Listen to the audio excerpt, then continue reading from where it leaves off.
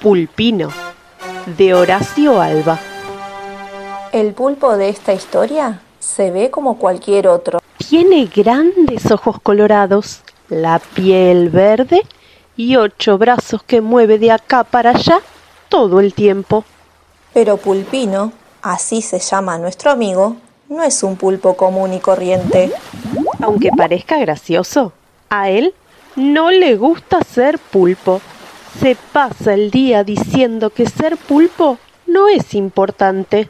Debería ser ballena, por ejemplo, o tiburón, o un divertido delfín. ¿Por qué no?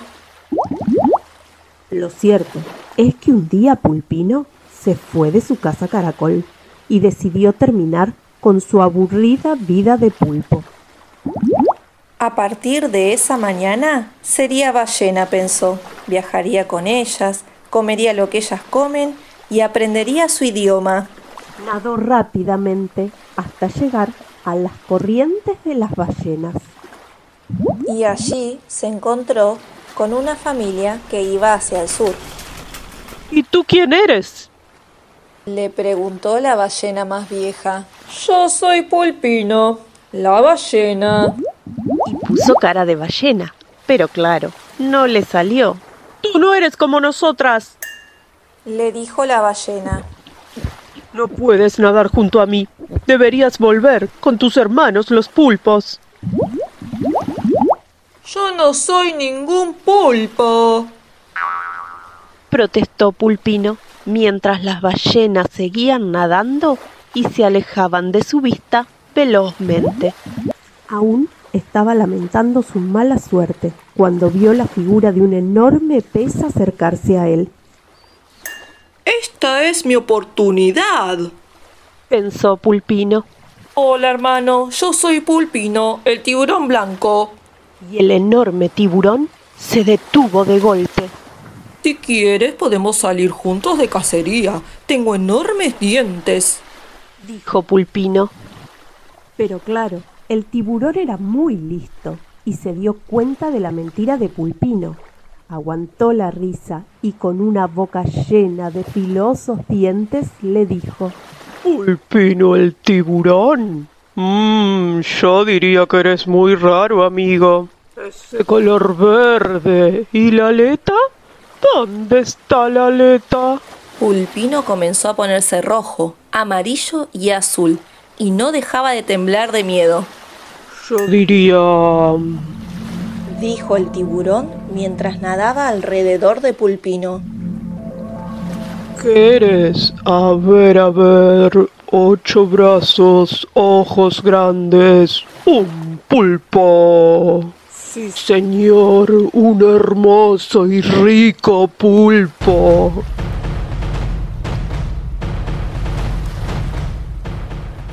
Y abrió la boca tan grande que Pulpino creyó que lo tragaría de un solo bocado.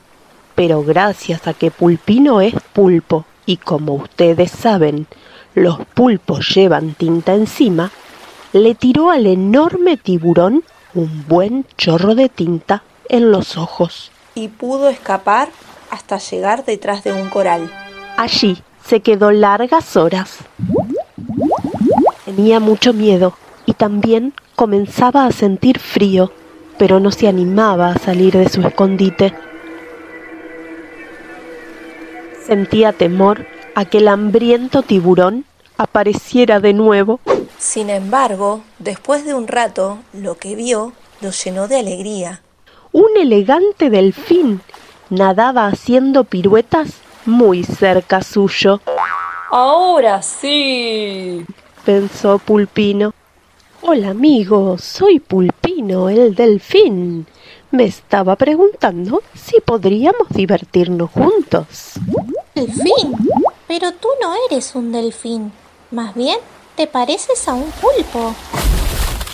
Oh, no, dijo Pulpino. Verás. E intentó hacer alguna pirueta, de esas que a los delfines les sale muy bien, pero claro, no pudo. Peor aún, se enredó en sus propios brazos una y otra vez. El delfín no dejaba de reír y reír con una risa finita que llegaba muy lejos, a lo largo y ancho del mar.